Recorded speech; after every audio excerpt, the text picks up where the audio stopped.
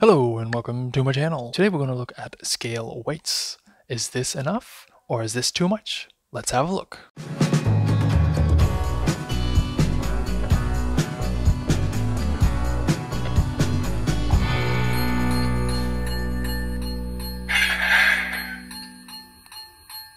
Today we're going to talk about why you want your car to have a weight to scale, how much that weight should be, where to place the weights, and we're going to talk about removable loads. First off, why I use scale weights? Well, it makes everything roll better. If you have cars out of the box, you might recognize this. Cars judder a bit because they're so light. And also coupling can become difficult as the cars are too light to let the couples work properly, so they just bounce off each other. And last but not least, the cars, if they're heavier, they will track better in the rails. So how much weight to use? They have already researched that at the NMRA, the National Model Railroad Association. So have a look on the website and there you'll find this easy chart. For all the different scales, they found there's a certain optimum weight for different scales because you don't want to use too much weight because then you significantly reduce the pulling power of your locomotive.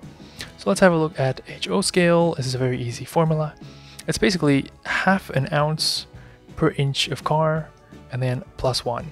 So the easiest thing to do is make this chart. You mark the inches and then you put the ounces down below. I put the ounces here in black and I have here in blue in the smaller writing the grams for the people in the metric system. So it's half an ounce per inch plus one. Here it's one, two, three, four, five, six. So 6 times half is 3, plus 1 is 4 ounces. So what you do is very easy. Once you've made this, you just take a random car. In my case, it's stock car.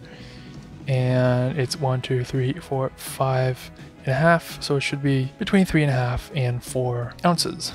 It's on ounces, so it's 4 exactly. So it can do. So what to use as weights? You can use anything. These came out of a car, took apart. They're just pieces of cheap metal this was another car, it didn't have enough weight, so I just glued on these nuts. I like them because they're cheap and they have them all different types of sizes and thus in different types of weights. So it fits the purpose. If you need a lot of weight, you probably want to have some bigger blocks like this.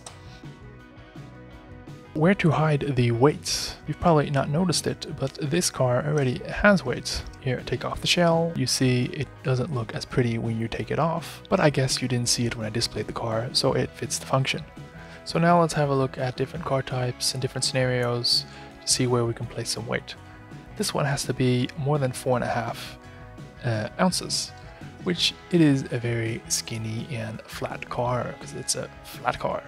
So that's not really going to make our lives easy. How much is it?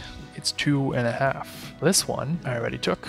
You can see it. There's where it is. Let's see how much this one weighs. A little bit over four. But how did I do that? Is it because of the trailer? Well, trailer helps because now it's 3.2, so the trailer itself weighs almost an ounce. But no, what I do is I just glued a load of bolts to the bottom side everywhere where there was space.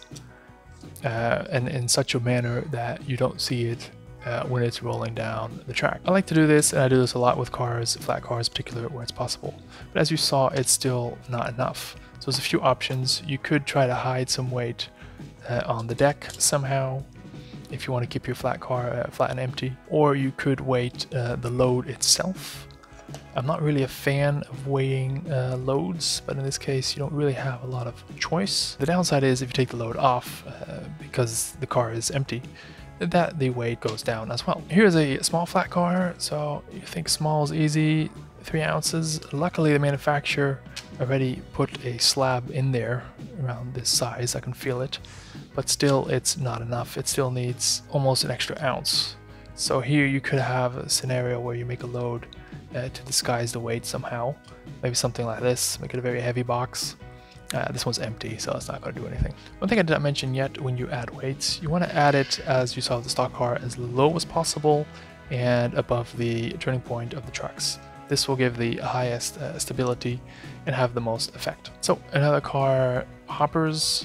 I've noticed that there's a difference between the more value-based cars and the more, uh, let's say, prototype slash uh, costly cars. The more costly ones uh, most often have the appropriate weight. With the hopper and you see with this tank car as well, they will be more or less the correct weight or even well, way over in this case, which is fine. If you want to add weight to a tank car, it's not going to be easy. What you would do, generally speaking, is drill a hole and then fill it with sand or goop or something like that. But even here in the bottom, you'll probably see it if you drill a hole, so you need to fix it again, patch it up. Or maybe you can drill it underneath the, uh, the support bar, the frame of the tank car to mask it a bit.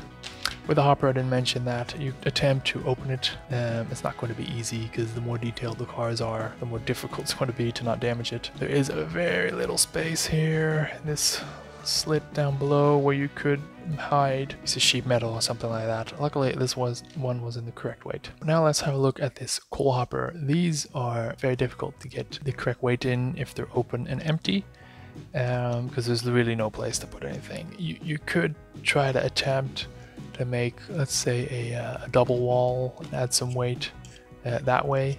So what I used to do is throw some nuts in here, and then you take this fake uh, coal piece, uh, hide it, and then it will be the right weight.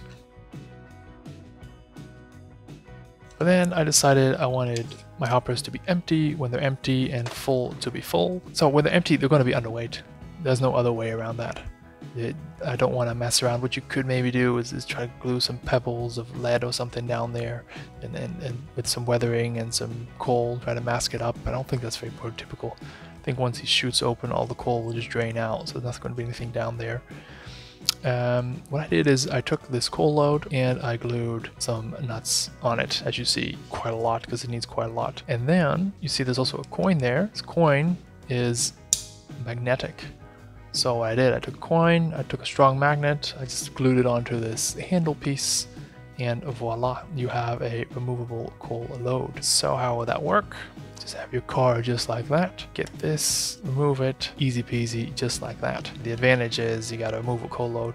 Downside is, I think if you have a long coal drag, of about 20 30 cars that might be an issue because you might if they're all empty you might pull them off the rails in a curve well that's not really going to be an issue if one or two or three of these are empty so i'm fine with this solution and i find it's really nice to have empty cars when they're empty that's all what I want to talk about today. So I want to thank you, the viewer, for watching because it's you that makes this channel. And if you want to see more content just like this, don't forget to subscribe and like. That's all for now. Bye bye.